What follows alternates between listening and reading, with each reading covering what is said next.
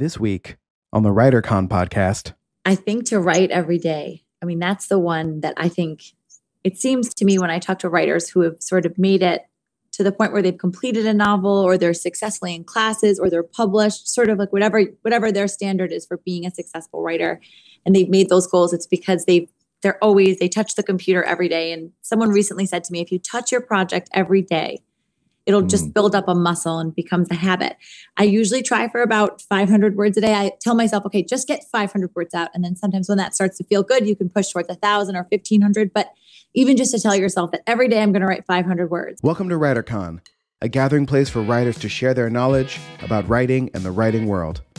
Your hosts are William Bernhardt, best-selling novelist and author of the Red Sneaker books on writing, and Renee Gutteridge, best-selling author of over 30 novels and screenplays. Thank you, Jesse Ulrich. And hello, writers. We're back after a brief hiatus, mostly created by my travel pa- plans, but I'm back in Oklahoma now. And of course, like all good, dedicated WriterCon writers, I wrote my chapter this morning. Renee, how's your script coming along? Still coming. I've gotten notes and I'm applying and still writing. Good Should be done in by December. In Oh. December. Fantastic. Jesse, have you, you worked on any good audiobooks lately? Hmm. Well, I haven't worked um, on two books recently from a William Bernhardt that people might be familiar with. He's pretty good, isn't it? I've yeah, heard. this is surprisingly good poet. So, um, yeah, your your uh, your book of poetry and um, your Yuletide Splitsville short story I worked on recently, and um, the Splitsville's done, and the poetry book will be done soon. Fantastic. Thanks for that completely unforced plug. Today, our guest is Katie Sise. She's the New York Times bestselling author of Open House and We Were Mothers, and she's got a new book out called The Break. We want to talk to her about this new book and her writing process and a lot of other crazy stuff.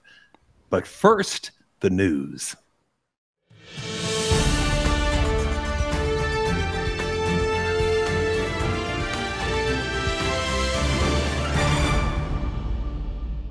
First news story there's a new report out that indicates, get ready for this, that self publishing income now equals another Penguin Random House.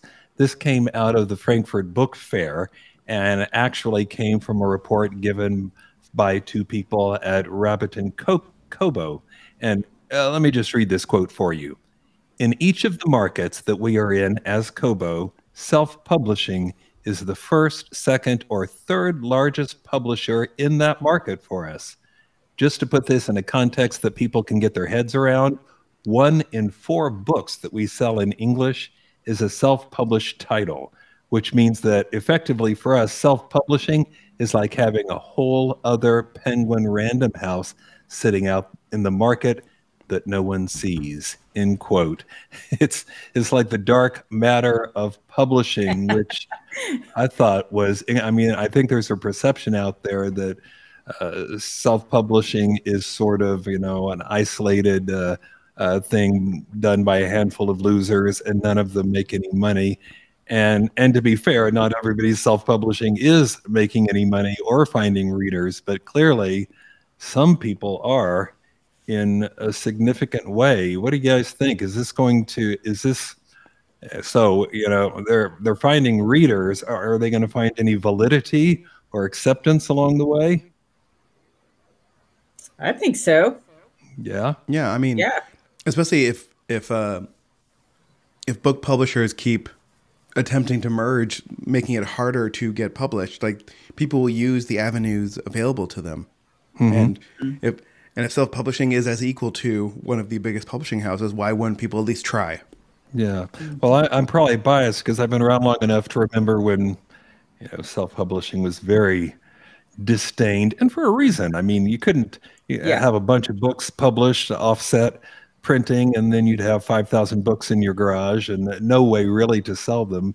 But of course, digital books have uh, changed everything. Mhm. My standpoint, uh, you know, if traditional publishing, great if you can get it, but I'm always happy when authors have more avenues towards success. And Mhm. this has become a very valid one. I know a lot of people who are making a lot of money this way. All right, second news story, and this was suggested by Renee, uh, has to do with Colleen Hoover, uh, who is currently the best-selling novelist in the United States by such a huge margin that it's it's hard to even compare. She she has in this past year sold more books than James Patterson and Stephen King combined. Uh, I mean, it's just incredible. No, no metaphor I can come up with uh, gives you a real sense of the size and loyalty of the audience that she has developed, which of course is in large part derived from huge success on TikTok or BookTok. She now holds six of the top 10 spots on the New York Times paperback fiction, fiction bestseller looks list. And some of these are not books. Some of, uh, are not new books. I mean, some of them go back years. This is a, a stunning number of simultaneous bestsellers from a single author who has sold over 8.6 million print books this year alone, more copies than the Bible, according to NPD BookScan. Renee? Wow. yeah, no. Uh, why do people always compare anything with the Bible? Why Yeah, is that the I touchstone? that's the pinnacle, I guess. How I many guess people 'cause- need extra copies of the Bible? Like, is it actually that big of a bestseller? Right, We pass it down in families, right? Like, Yeah. I guess it's a consistent seller. Anyway, Yeah. Re- Renee, you suggested this story. Why? What do you think is the significance here? Well, probably the significance for me is not the significance for the business minded. Um, I will say that as you know, I've I've have 25 books or so, and I can tell you that my readers are getting younger due to um, Instagram and TikTok. So Mhm. it's been fun to see young readers. I'm getting, you know, direct messages, not emails, uh, from 20 somethings who have found my books through those kinds of means. But the thing that drew me to this story actually was reading. Um, I read this, you know, through my New York Times subscription, and I was just, I remember I was just in bed reading about her journey of how, like, she writes what Mhm. she wants to write. She has passions and she has stories and she sits down and writes them. And a lot of times, you know, you'll hear things like, well, you have to stick to a genre. You'll hear that from probably your agent, maybe your publisher. Um, I think Colleen has blown the doors off that. You know, readers are loving books with passion that they can author loves to, to write. And and we, you know, talk to authors who write what they want to write. Um, I think if you've got a good story, it's going to sell. Readers are going to find it. So uh, it was encouraging to me to, you know, some of these really, really best-selling authors stick to a genre forever. You know, it's it's they're in one genre and they're on that train forever. Um, Right. Nothing wrong with that, Bill. I mean, you've made a great career doing that, and I think there's wisdom in that um, because you find your readers. Uh, but for authors like Colleen and me, uh, who do everything from suspense to silly comedy, this is an encouraging story. Yeah. Well, of course, that's what traditional publishing will want. If you have a hit in one field, they're going to want more of that. And, uh, you know, they're not going to want you to branch out. They want more of what works until Mhm. finally your audience is sick of it and then they'll dump you and get somebody else. right. I, I read the same story you did in the New York Times, but you know what I took away from it was it talked about when she was writing her first novel, which by the way she self-published.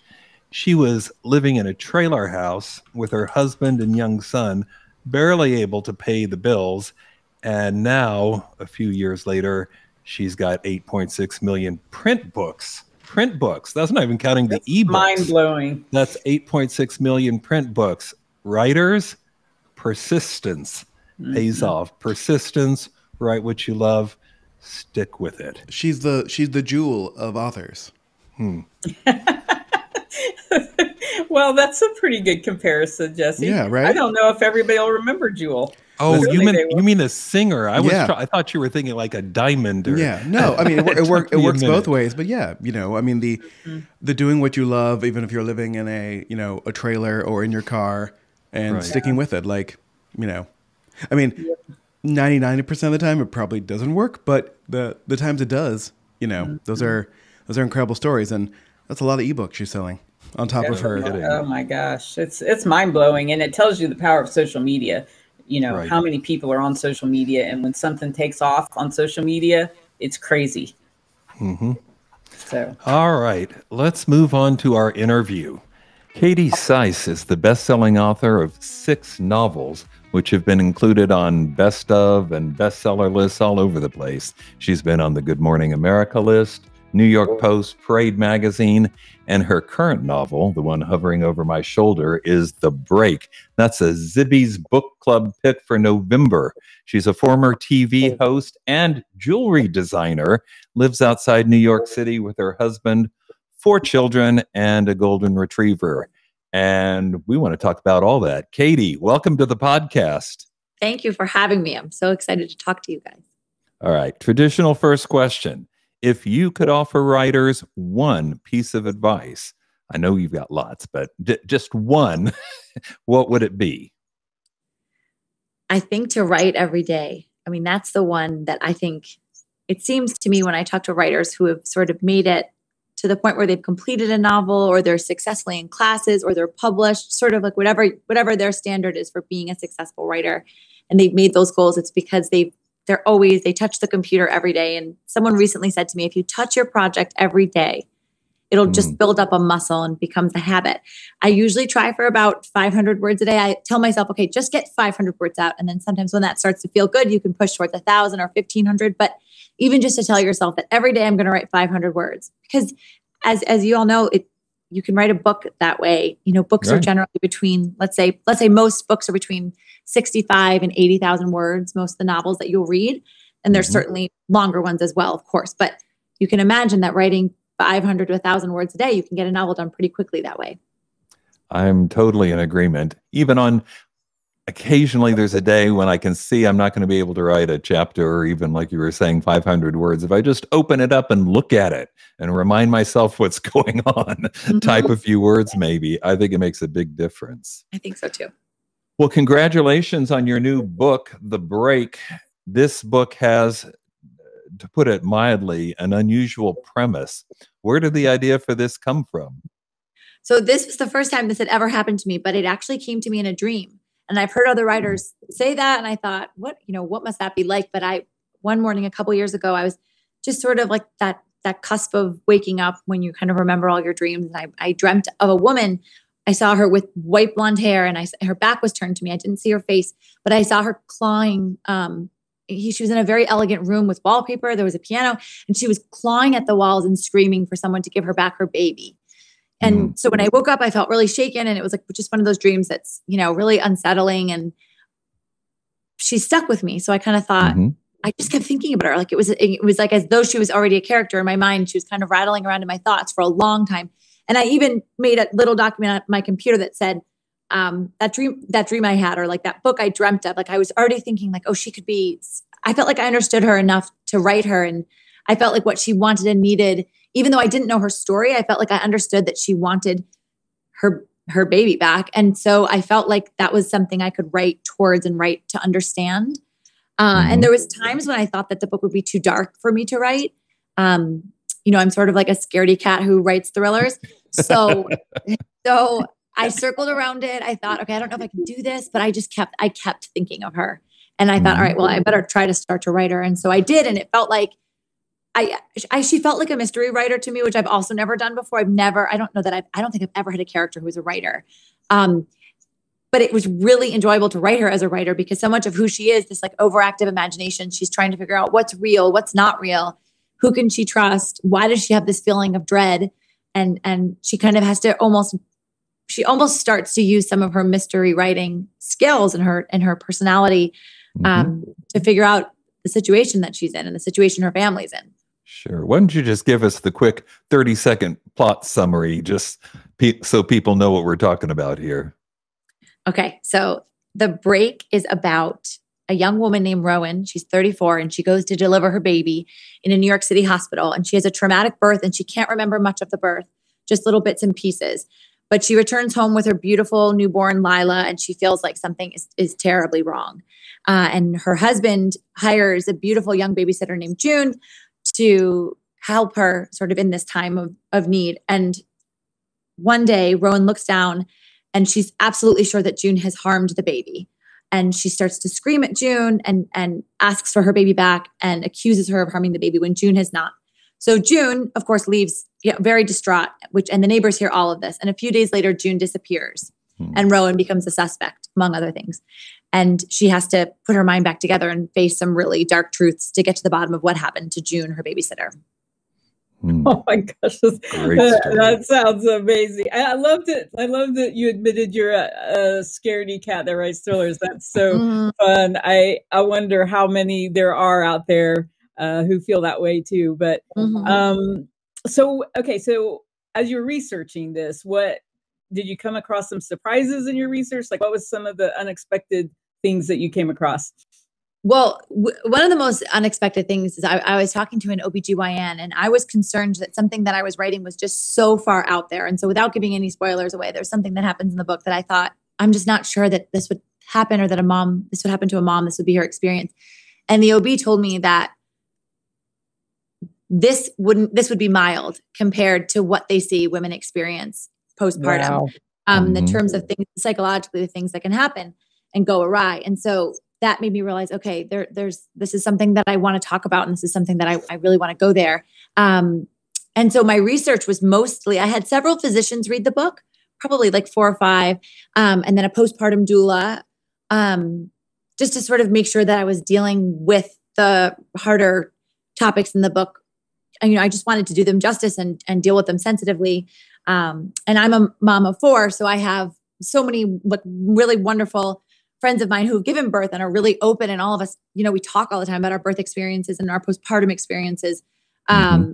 and you know i'm grateful for those conversations because i feel like they i mean just mm-hmm. mostly i'm grateful for them because it's nice to have friends who are open about these things. And i think the conversation is becoming a lot more open. So i kind of wanted to hopefully contribute to that in a in a meaningful way and do it do it well. I mean hope you know you always want to do these things well. And but this was important to me to kind of get this right. Right Fabulous. So I have a follow up question to that, real mm-hmm. quick, because I think that's really interesting. You were talking about how. So did you lay down the plot as you wanted it, and then sort of went into the research of you know making sure this is right, that's right, or did you research all the way up front and then put your plot together, or was it a mixture? That's a that's a good question. It was definitely a mixture. So I don't outline. Um, I really respect writers who are disciplined enough that they have that outline to work off. And sometimes I'm jealous of that. But I, for me, need to not know what's happening and I need to go into it without knowing. I might write towards a twist. I'll often like have a twist in my mind that I want to happen and I can write towards that, but I like to not know. I never know who the killer is. I did not think the person who ended up doing it in this book. I absolutely did not think it was this person for the longest time. And then maybe about five, six of the way through, I was like, oh my gosh, this is the person. Mo- mostly because there was another person I thought it was, and but I couldn't get him and this other character to get together romantically. I kept thinking they would. I kept putting them in scene together. I kept thinking that's what they were going to do, you know, and then they wouldn't. And I was like, okay, guys, I'm going to figure something else out. And so I ended up really actually liking the motivation. You know, rather than have it be something romantic, I liked that I needed to give them a different reason to do what they eventually do, mm-hmm. um, which made me work harder, which was good. Um, and but I have no idea. I, I will have a sense of where things should go next. I often have a sense of location. Like I'll feel like, okay, they've been in this apartment for two scenes now and I've got to get them out of there and let's put them all, you know, like in this room and Playwrights Horizons, Horizons is in the book, like a, a theater, like let's put them there and then let's put them at an, at a bar or something, you know, you'll have an idea where, where to go next. But then I often just put them all into scene and see what they do. Cause then it feels like watching a movie and then I can't wait to see what happens. And I think that keeps me, keeps me writing, keeps me going um, to figure out who did what. Well, you're making this book sound terrific. So good on you. That's that's good. always good. helpful. This is not your first book, though, and as I think I already alluded in the introduction, you've got previous careers on television, mm-hmm. and your jewelry designs that put you on television. They're being worn by a lot of famous people. How did you get started as a writer? So well i i always loved to write so even when i was a little girl i would i would hole up in my bedroom and you know write mm-hmm. stories and all the time. Uh, and I guess I sort of always thought it was this thing that I would uh, either maybe come back to. I'm not really sure why it wasn't. It wasn't the thing I went for right out of college. I was a acting major in college, and so I did some plays and some, you know, movies. But I had, you know, about a dollar to my name, and I kind of was like, okay, I have to figure out a way to make money. So I was bartending and waitressing and acting and always writing, but oh, like always writing. Woke up, woke up and wrote first thing always. Hmm. Um, and then maybe we'd go to an audition and then we'd go bartend. And then at one point, I kind of, I, I was I'm not I'm not a huge night owl and I was like I've got to figure out a job that happens in the day like you know um and so I took a job at a at a little boutique and um I started you know I was 24 25 so I had like a lot of bravery and I kind of was like oh I could make jewelry like this I'll just make something like this and then I had a piece on that I was I mean so I was making like you know $10 an hour as a sales girl and but I had it like I was wearing a piece and a customer said, "Oh, I love that." And I was like, "Oh, well, it's for sale." Which is the wrong thing to do. And if anyone is listening, don't do that. But the the woman who owns the boutique is still one of my really good friends. She just kind of like let it go and then she was like, "Okay, we're going to make you a little shelf and you can sell your pieces there. We're going to give you this little shelf." Um, and then it's funny because it that was what I did for years and years. I made jewelry. I talked about style and style segments and things like that. And um, I hosted a, a I, w- I was I did this show on the Home Shopping Network for years, and it, it, was so much fun. I loved every second of it. I loved being, you know, it was just it was a lot of fun. And then I kind of thought, okay, well, there should be a book about this, right? Because creative careers are so circuitous, and there's not always a straight path, and you there's a lot of detours, and there's a lot of figuring out what you really want to do. And so I wrote a proposal for a book called Creative Girl, and that was helpful because it it led me to my agent, um, and he's so wonderful, and he's been my agent for 13 years, and is he's just always supporting me and uh, you know like steering me in the right direction um and so that was really helpful because that book led me to him and then I, I but I, I remember saying to him but i really want to write fiction and he's like okay great you know when i take a writer on i take them on for their nonfiction their fiction their whole career so we i wrote a novel it did not sell um, I wrote like a full, it was a paranormal romance. I actually really love it. And I love that book. I should, I always like think about, I've rewritten it like a thousand times since 2008. They're like, we're barely even cell phones in the book. I'm like, I guess I should put cell phones there. But um, so it was just so long ago. And so, and that one did, but it didn't sell. And I remember I was just devastated. Um, um, but I'm like pretty stubborn when it comes to that kind of stuff. I kind of took a few days. I cried. I actually cried. I remember I cried myself to sleep for the first time in like a decade because you know I was married. There wasn't like that much to. Wasn't like I'd gotten my heart broken recently, but I remember being heartbroken over that book not selling. And then a few days later, I was like, okay, well, I've got to figure this out. So I started to write other projects. And then I submitted a sample to almost like audition for this, not audition, that's not the right way to say it, but I got a ghostwriting job. So I wrote three novels under someone else's name, which is like as you know, something that sometimes happens in the business if the if the writer's been either signed up for too many projects or they're, you know, they maybe they have something going on in their personal life um, that they can't do the contract. So I wrote three novels, which was really helpful because I kind of learned the art of story and plotting um, and they were really, you know, they were, it was a really good experience writing suspense. And then mm-hmm. I felt like I was really ready to write my own because at that point I'd written, let's say, four full novels. Um, even though they, none of them had been published uh, under my name. But then I thought, okay, I'm ready for this. And so I wrote a proposal. Um, there was a woman in my agent's agency, another agent, and she said, let's write a book about, she's like, you should write a book about a book called The Boyfriend App. And it should be about a girl who can get any boyfriend that she wants with an app. Um, and she said, go ahead. She gave me all this freedom. She was like, go ahead and just write that book and take it where you want and let's try to sell it. And we did sell it. We we we sent it to Alessandra Balzer, who's a wonderful, wonderful editor at HarperCollins. And she bought that book. And so I did three books for Alessandra, three books for HarperCollins. And then so at that point I was in my mid 30s when I was done doing those three. And I kind of I really wanted to write adult. I really wanted to try writing adult suspense. And so I wrote uh, We Were Mothers, which is the first of the three suspense novels that I did for Amazon Little A. Um, and I really love doing those as well. I mean, I love both genres, but I, I feel more like an adult. So I think it made sense to kind of go towards adult as of now. I'd love to go back to YA at some point. But, you know, you raise an issue, which you'd probably just as well I didn't bring up, but too go, late. Go ahead. I love but this, is, this, you know, being a thriller, I might expect this to come from Thomas and Mercer, but it's not. It's coming from Little A. Does mm-hmm, that reflect mm-hmm. some kind of dual genre purposing here, or what?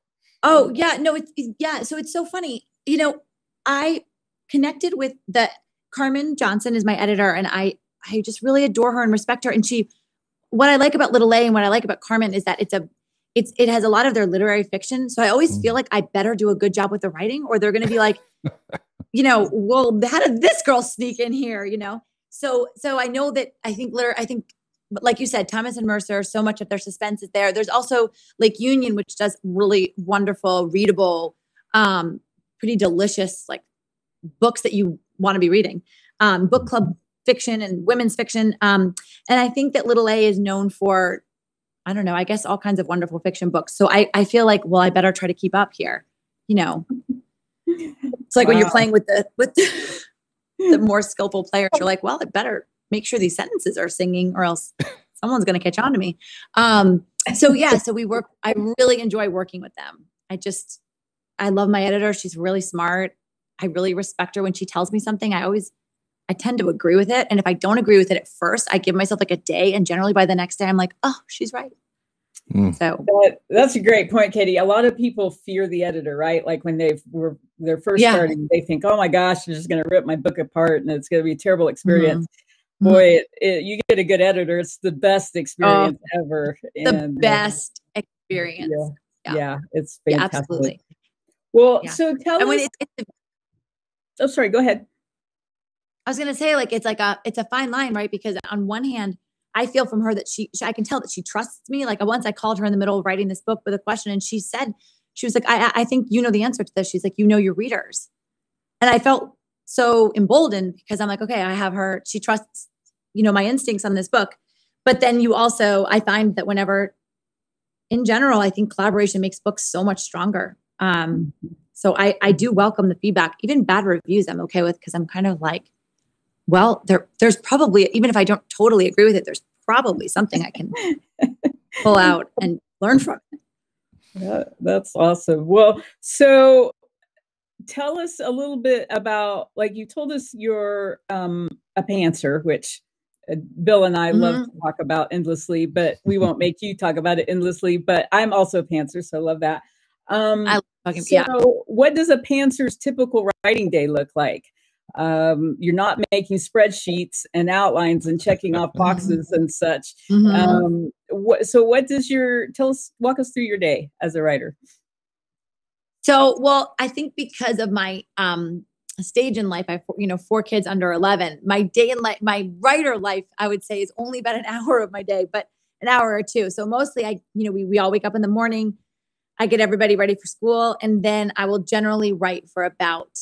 My little ones are still in pre-K, so they're not there. They're not in school for that long. So I'll generally try to do one to two hours of writing, um, and and that'll kind of do it. I hope to stretch that out like when they when my littlest go to kindergarten um i hope to maybe take on some more writing projects and try to like build that muscle back up because i remember before kids when especially when i was doing those ghost writing projects i could write for a good six hours a day and i would mm-hmm. like i'd love to get that muscle back. Right now i don't i don't still have that. I definitely you know at about two hours i'm like oh god i need a snack you know and then i'm done. So yeah.